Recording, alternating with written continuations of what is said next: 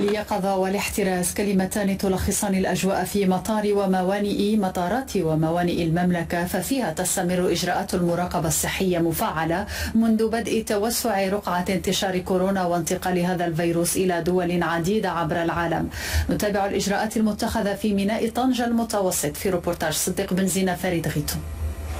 تجهيزات ومعدات بيوطبية من بينها معدات قياس الحرارة تستعمل في مجال الكشف عن الحالات المشتبه في إصابتها بفيروس كورونا. تم وضعها بميناء طنجة المتوسط حيث رفعت المصالح المعنية حالة جاهزيتها الطبية بمختلف التجهيزات الخاصة بالرصد والتي تستعمل في مثل هذه الحالات. المراقبة هذه آه، كتنقسم لقسمين البواخر القادمة آه، مباشرة من الدول الموجودة الموبوءة إلى ميناء طنجة المتوسطي كتخضع للمراقبة الصحية طبقا للقوانين ديال المنظمة العالمية للصحة والقوانين الوطنية ديال المراقبة.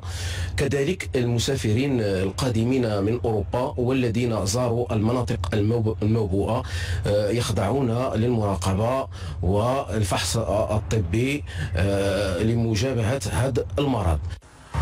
وكانت وزارة الصحة رفعت من حالة جاهزيتها للرصد والكشف عن الحالات المشتبه في إصابتها بفيروس كورونا والذي بدأت رقعة الإصابات به تتسع في الصين وفي عدد من دول العالم. قمنا وبالتنسيق مع المصالح الوزارية باتخاذ كل الإجراءات العملية من أجل تشديد المراقبة الوبائية بالمصلحة الصحية لميناء طنجة المتوسط وكذلك للكشف عن أي حالة آه، كشف مبكر عن أي حالة ورفع من درجة اليقظة الصحية 24 ساعة ل 24 ساعة.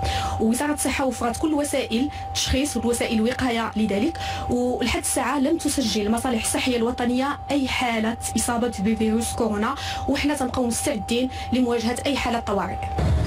هكذا. إذا يتم تفعيل بروتوكول صحي احترازي يتضمن مختلف الإجراءات الواجب اتباعها في مثل هذه الحالات الوقائية من الأخطار الوبائية حيث تم وضع مجموعة من الأطقم الطبية المختصة في حالة يقظة للتدخل بتنسيق تام مع المجموعات المكلفة بأجهزة الرصد البيوطبية.